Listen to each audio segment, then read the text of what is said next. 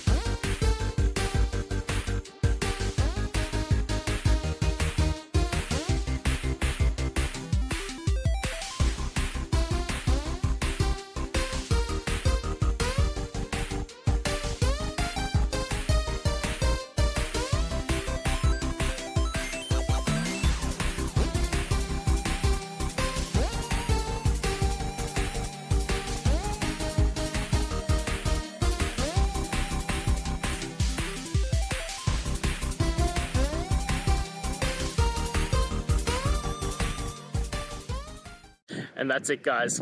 I hope we've gone through and found the answer that you're looking for. And look, if we did find that answer in your resolution, please hit the subscribe button. I'd really appreciate it. Now, until the next time you need technical videos, I hope you have a good one.